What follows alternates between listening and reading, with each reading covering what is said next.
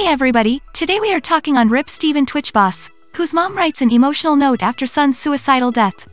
Let's watch further details in this video, hit like and share with your friends.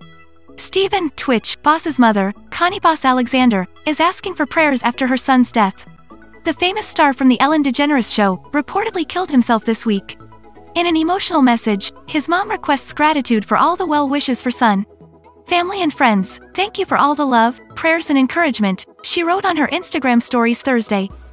Now before details, please subscribe our channel so you will be notified whenever we publish videos here on YouTube. Please know I see all the messages, texts, posts and the phone calls. I can't use words right now. Please know I will reach out when I can. She concluded the message by saying, please keep us in prayer. Stephen Laurel, your mother loves you to eternity and beyond, she wrote. That's a perspective, usually everyone feel heavy after death, but fans are asking the question, where were his mom?